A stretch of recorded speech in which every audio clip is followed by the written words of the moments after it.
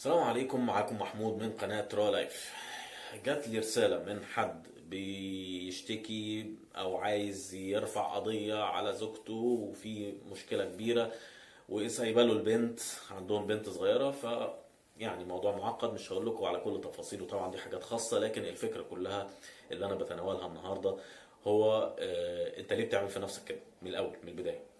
آه، الزوجة راحت هربانة مع واحد تاني هو ما يعرفش سكتها فين بس هي عايشة مع واحد تاني وقالت له أنا بحب واحد تاني ولا زالت على ذمته للعلم آه، البنت الصغيرة بنتها حتى سابتها معاه وما عندهاش مشكلة يعني مع الموضوع ده.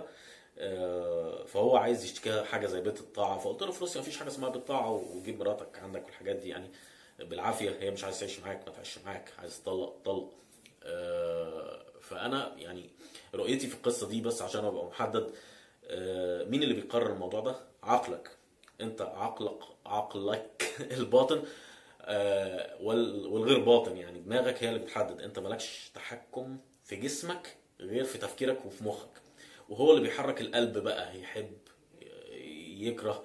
يعني هو أنا شايف الشخص ده إن هو عايز مراته ترجع لأنه بيحبها نفسه فيها آه، أو حيلت في عينه بعد ما راحت لواحد تاني الله أعلم. بس آه، واحدة عايشة مع واحد تاني مراتك خانتك أو عايشة مع واحد تاني وبتجاهر بالموضوع ده وراميه بنتها ولسه بتحبه يا قلبي لسه عايزها. فدي برضو من الحاجات اللي لازم نتك عليها أو نوضحها. هو ليه الناس بتبقى عارفة إن الحاجة غلط؟ عيني عينك. ومع ذلك يقول لك بس عجباني عايزاه عايزها معلش. اما لو كانت حلوة كنت عملت إيه يعني؟ آه، لأن الست مش جميلة يعني قصدي. فتوضيحا للنقطة دي تاني أرجع لها. آه، أنت مالكش تحكم في جسمك كله. يعني أنت ما بتتحكمش إمتى بطنك تشتغل تهضم. ما بتتحكمش إمتى الرئة تشتغل و... و... وتعمل ال processing بتاعها. ما بتتحكمش في كرات الدم البيضاء تقاوم الفيروسات إمتى وإزاي. ما بتتحكمش في. في جريان الدم. ما بتتحكمش في القلب حتى الضخ الدم والاذين والبطين يشتغلوا إزاي والعضلة آه، تضغط إمتى جامد وتضغط إمتى ببطء. ما بتتحكمش في بناء العضلات ما بتتحكمش في التخلص من من الدهون ما بتتحكمش في تكتل الدهون ما بتتحكمش في معدل آه، نبت الشعر ما تتحكمش في حاجة خالص. إشارات الجسم كلها طالعة من المخ حتى إيدك ممكن لو الإشارات طلعت من المخ مختلة شوية كده تلاقي إيدك بتعمل حركات لا إرادية وحاجات مش بتاعتك. out of control مس فال يعني malfunctioning يعني مفيش حاجة تقدر تضمن إنها تتحرك زي ما أنت عايز خالص في جسمك. أنت مخك هو المركزي هو اللي ليك تحكم. حضرتك آه، مش بتكلم عليك أيها المشاهد بس يعني قصدي الشخص المتورط في هذه القصة. حضرتك أنت ليك تحكم في مخك. مخك هو اللي بيحرك قلبك. هو اللي بيخليه يروح مع الهوى يمين أو شمال آه، يهوى ذاك ويكره ذاك. يعني أنت ممكن ببساطة شديدة أشرحها لك.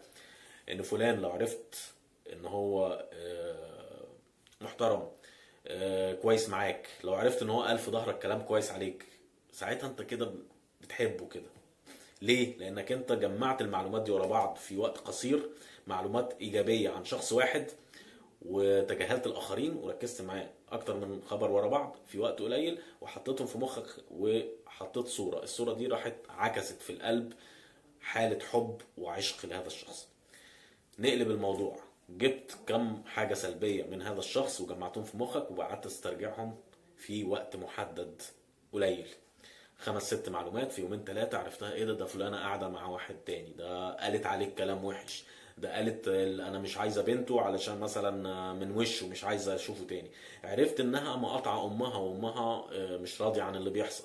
فأربع خمس معلومات تجمعهم وتعيدهم على دماغك كده وعلى مسامعك أكتر من مرة هتلاقي نفسك بدأت تكره وتتغير قلبك بدأ يتلون حسب المعلومة اللي في مخك فالمخ هو اللي بيتحكم في المشاعر. يا جماعة وتحريك القلب بقى إن هو يحب أو يكره. آه، أنتوا عارفين القلب يعني زي ما في حديث شريف أو قدسي يقول لك إيه آه، إن القلب يعني بين إصبعي الرحمن يقلبهما يقلبه ال- الأفئدة يعني ما بين إصبعي الرحمن يقلبهما كما يشاء.